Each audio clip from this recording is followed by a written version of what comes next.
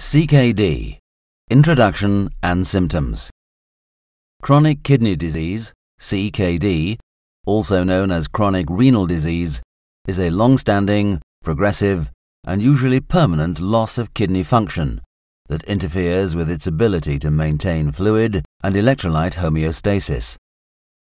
CKD is divided into five stages based on increasing severity. The mild form of the disease is called renal insufficiency, while the severe form is termed end-stage renal disease.